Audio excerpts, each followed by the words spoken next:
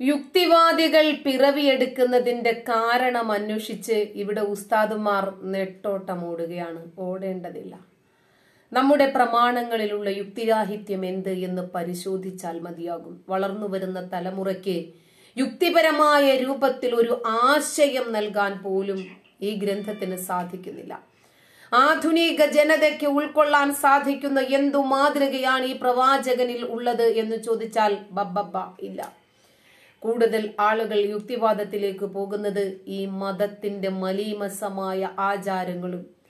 യുക്തിക്ക് ഒരു ലവലേശം പോലും നിരക്കാത്ത രൂപത്തിലുള്ള ആശയങ്ങളും വിശ്വാസങ്ങളും ഒക്കെ ഉണ്ടെങ്കിൽ എങ്ങനെയാണ് വളർന്നു വരുന്ന ബൗദ്ധിക നിലവാരം പുലർത്തുന്ന ഒരു സമൂഹത്തിന് ഇത് ഉൾക്കൊള്ളാൻ സാധിക്കുന്നത്? അതുകൊണ്ട് അവർ ചോദ്യങ്ങൾ ചോദിച്ചുകൊണ്ടേയിരിക്കും. ഉത്തരമില്ലാത്തവർ അസഹിഷ്ണുതയോടുകൂടി അവരെ ഇല്ലാതാക്കാനും അവരെ ഉന്മൂലനം ചെയ്യാൻ ഇനി ഒരിക്കലും ചോദ്യങ്ങൾ ചോദിക്കാതിരിക്കാൻ ഒരാൾക്കും ഇതുപോലെയുള്ള സംശയങ്ങൾ ഉണ്ടാകാതിരിക്കാൻ എന്ത് ചെയ്യണം എന്ന് ആലോചിക്കും. ശരിക്ക് അവർക്ക് ഉത്തരം നൽകിയാൽ അത് മതിയാകും. ആ ഉത്തരം മതിയാകും. ഇനി ഒരാൾക്കൊരു ചോദ്യം ഉണ്ടാകില്ല പക്ഷേ അതിന് ഉത്തരമില്ല. എവിടെ അതിനുള്ള ഉത്തരം? പറയുമ്പോ പറയുമ്പോൾ അതൊക്കെ പേടിപ്പിക്കാൻ ഭയപ്പെടുത്താൻ വേണ്ടി വന്ന ഹദീസുകളോ മറ്റോ ആണ്. അങ്ങനെയൊന്നില്ല എന്ന് പറയുന്നവർ മുജാഹിദികളുടെ കൂട്ടത്തിലുണ്ട്. ഇങ്ങനെ വിശ്വാസത്തെ തകർക്കുക ഇതിലേക്ക് ആകർഷിക്കപ്പെടും. കാരണം ഖബറിൽ ചോദ്യമില്ല. നമ്മൾ ചെയ്ത നന്മയും തിന്മയും ഒന്നും നമ്മളെ ബോധ്യപ്പെടുത്താതെ തന്നെ ലോക്കപ്പിലേക്ക് കൊണ്ടുവയ്ക്കുമ്പോഴേക്ക് ശിക്ഷ തുടങ്ങുന്നു എന്നാണ് ഇസ്ലാമിന്റെ വിശ്വാസം. ലോക്കപ്പ് മർദ്ദനം മനസ്സിലായല്ലോ? ഖബർ കുഴി ശവക്കുഴി. ഖബറിൽ ശിക്ഷയില്ല. അപ്പൊ അതിൽ നിന്ന് രക്ഷപ്പെട്ടല്ലോ എന്ന ആ ഒരു താല്പര്യം അതിലേക്ക് ആകർഷിക്കപ്പെടാൻ കാരണമാകും. അങ്ങനെ ധാരാളം വിഷയങ്ങൾ. ഖുർആാനിനെ കുറിച്ച് തന്നെ അവർ പറഞ്ഞില്ലേ പല സംഭവങ്ങളെ കുറിച്ചും അവരെ ആളുകൾ അവർ അവർക്ക് തോന്നിയതനുസരിച്ച് അവരുടെ യുക്തിക്കനുസരിച്ച് വ്യാഖ്യാനിച്ച ഇത്ര സംഭവങ്ങളുണ്ട്.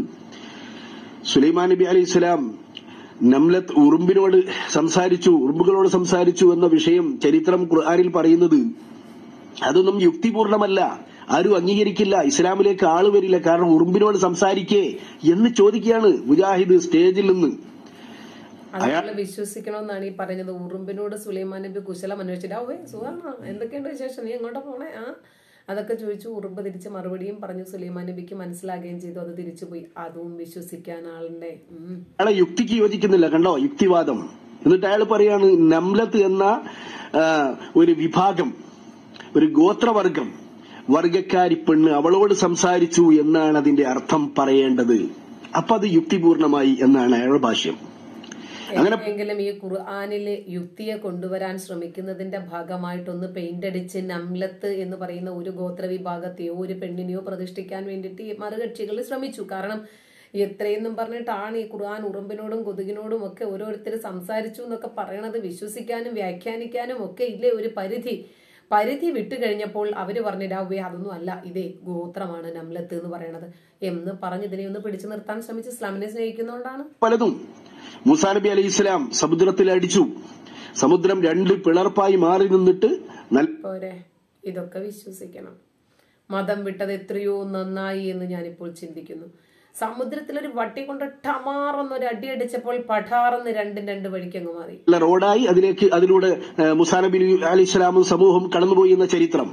എന്നാൽ അതിനെക്കുറിച്ച് അവർ പറയുന്നത് അതെങ്ങനെ യുക്തിപൂർണമാണ് മൂസാ നബി അലൈഹി ഒരു വടി കൊണ്ട് അടിക്കുമ്പോഴേക്ക് സമുദ്രം മാറുക എന്നൊക്കെ പറയുമ്പോൾ അത് ഖുർആൻ യുക്തിഭദ്രമായ ഗ്രന്ഥമാണ്.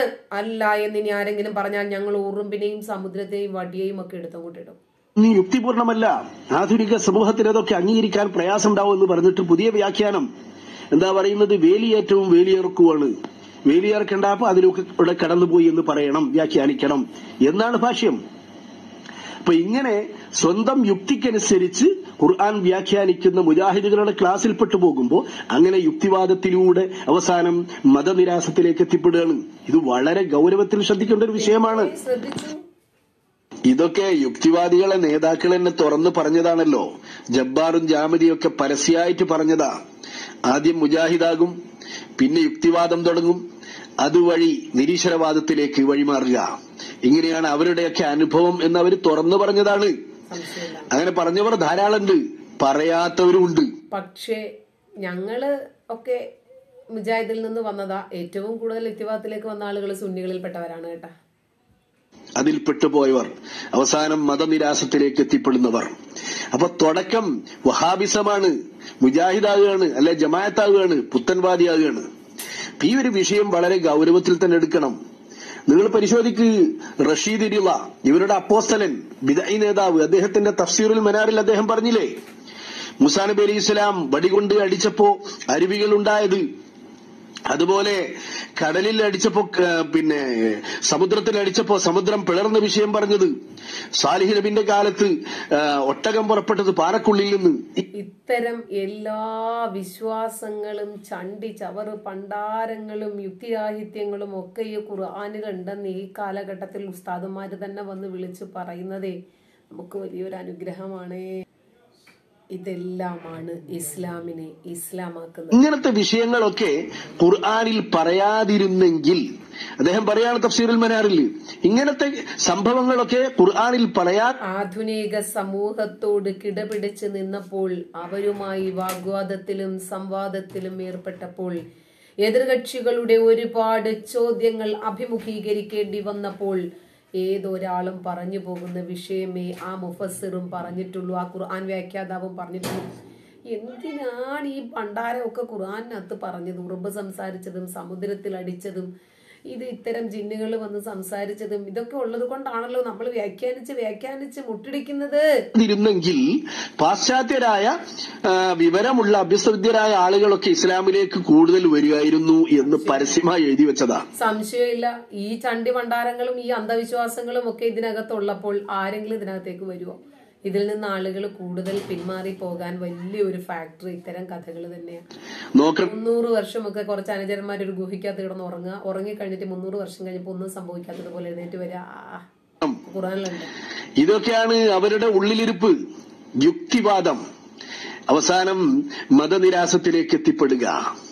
ഈ വിഷയം വളരെ ഗൗരവത്തിൽ തന്നെ നമ്മൾ ചർച്ച ചെയ്യേണ്ടതായി വന്നിട്ടുണ്ട്. കാരണം പല ക്ലാസുകളും പലതിന്റെയും പേരിൽ നടക്കുന്നുണ്ട്.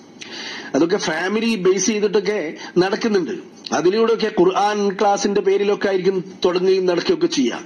എന്നാൽ അതിൽ അവസാനം ക്ലാസുകൾ വഴിമാറി മറ്റ് അവരുടെ ഈ ഇത്തരം ആദർശത്തിലേക്ക് ആശയ പിഴച്ച വാദത്തിലേക്കൊക്കെ ചർച്ചകൾ പോവുകയും ആളുകൾ വഴിമാറുകയും വഴിതെറ്റുകയും ചെയ്യുന്ന അവസ്ഥ ഉണ്ട്. അത് കാണാതെ പോകരുത്. സുഹൃത്തെ സുന്നിയിൽ നിന്ന് മതം വിട്ടവരോ മാറി ചിന്തിച്ചവരോ വളരെ കുറവാണ്. ഏറ്റവും കൂടുതൽ വന്നിരിക്കുന്നത് മുജാഹിദ് പ്രസ്ഥാനങ്ങളിൽ നിന്നാണ്. കാരണം വിശ്വാസത്തിന്റെ തലങ്ങൾ അങ്ങനെയാണ്. പക്ഷെ പറഞ്ഞു വേറൊരു കാര്യം. മുജാഹിദിന്റെ മുജാഹിദിന്റെ ആ ധാര ആരംഭിക്കുന്ന കാലഘട്ടത്തിൽ തന്നെ മാഷ് യുക്തിവാദവും തുടങ്ങി എന്നുള്ളതാണ് അതിനൊരു ഏറ്റവും പ്രധാനമായി എനിക്ക് പറയാൻ തോന്നുന്ന മറ്റൊരു കാര്യം. ഇന്ന് മുജാഹിദിന്റെ വിഭാഗത്തിൽ വമ്പൻ ആൾക്കാരാണ് എന്നെ അധ്യാപകരായി പഠിപ്പിച്ചിരുന്നത്. അപ്പൊ അവരുടെ കുഴപ്പമാണ്. അവർക്ക് എനിക്ക് വേണ്ടുന്ന രൂപത്തിൽ മനസ്സിലാക്കി തരാൻ സാധിച്ചിട്ടുണ്ടാകില്ല. ഇന്നലെ അതായത് മുജാഹിദിൽ നിന്ന് ഇസ്ലാം വിട്ട ആളുകളുടെ എണ്ണമാണ് ഇവർ എടുക്കുന്നതെങ്കിൽ ഇവർ പരാജയപ്പെട്ടു പോകും. ഏറ്റവും കൂടുതൽ ആളുകൾ യുക്തിവാദത്തിലേക്ക് വന്നിട്ടുള്ളത് സുന്നി ധാരയിൽ നിന്നാണ്. എല്ലാ വിഭാഗങ്ങളിൽ നിന്നും വന്നിട്ടുണ്ട്. മുജാഹിദിൽ നിന്ന് വളരെ കുറച്ച. കാരണം അവർ കുറച്ച് രൂഢമൂലമായ വിശ്വാസമാണ് സ്പ്രെഡ് ചെയ്യുന്നത്. ഭീകരവാദവും തീവ്രവാദവും പോയി പൊട്ടിത്തെറിച്ചാൽ മാത്രമേ നമ്മൾ മുസ്ലിം ആകൂ എന്നൊക്കെ പറഞ്ഞിട്ട് പ്രോഫ്കോൺ പോലെയുള്ള യുവാക്കളുടെയും യുവതികളുടെയും M G M Mujahid girls movement Mujahid students movement അതൊക്കെ തുടങ്ങി കുറെ അധികം പെൺകുട്ടികളെയും ആൺകുട്ടികളുടെയും ആൺകുട്ടികളെയും ഇതിലേക്ക് വലിച്ചെടുത്തിട്ട് ഇവരെ ഇങ്ങനെ മോട്ടിവേറ്റ് ചെയ്യും. നമുക്ക് പരലോകം പരലോകം പരലോകം സ്വർഗം നരകം സ്വർഗം നരകം ഇങ്ങനെ പറഞ്ഞ് പേടിപ്പിച്ച് പേടിപ്പിച്ച് ഇവരെ തളച്ചിടാനാണ് ശ്രമിക്കാറുള്ളത്. എന്നാൽ മറ്റേത് അങ്ങനെയില്ല അതിനകത്ത് അന്ധവിശ്വാസങ്ങൾ മുഴച്ചു നിൽക്കുന്നത് കൊണ്ട് വളരെ വേഗത്തിൽ ഈ മതം വിട്ടു പോകാൻ ആൾക്കാർ കൂടുതൽ മുന്നോട്ട് വരും. ബാക്കിയുണ്ട് നമുക്ക് അടുത്ത ദിവസം കേൾക്കാം. നന്ദി.